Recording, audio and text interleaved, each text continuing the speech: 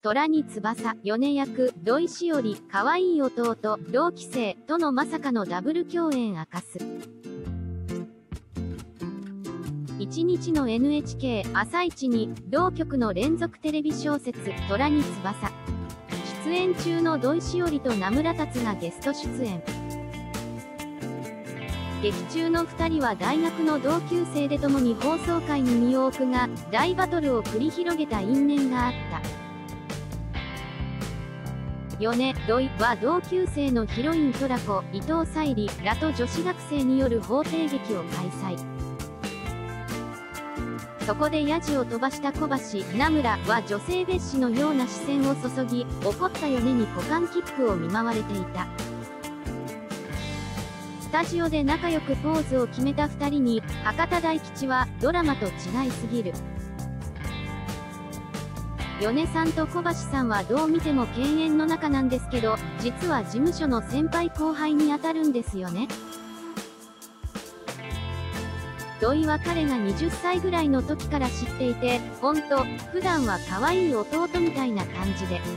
と答え、小橋は、ありがとうございますと頭を下げた。土井は、まさか、虎に翼で彼を蹴り上げることになると張って感じで。と振り返った。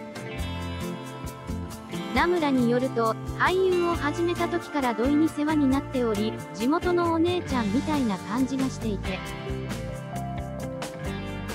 いつもお世話になっている、そういう関係でございますと説明した。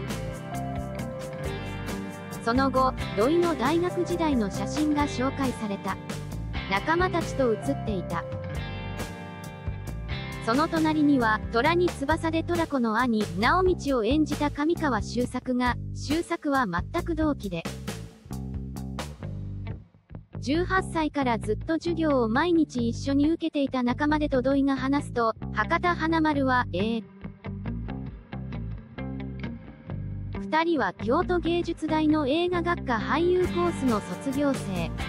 はしゃいだような姿を写した前出の写真に、土井は、こんなふざけた大学生だったんで、朝ドラで共演することになると張って感じでと恐縮気味に話した。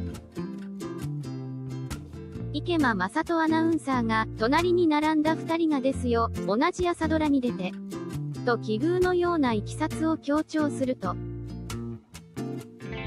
すごいねと花丸。土井も、びっくりですねと実感していた。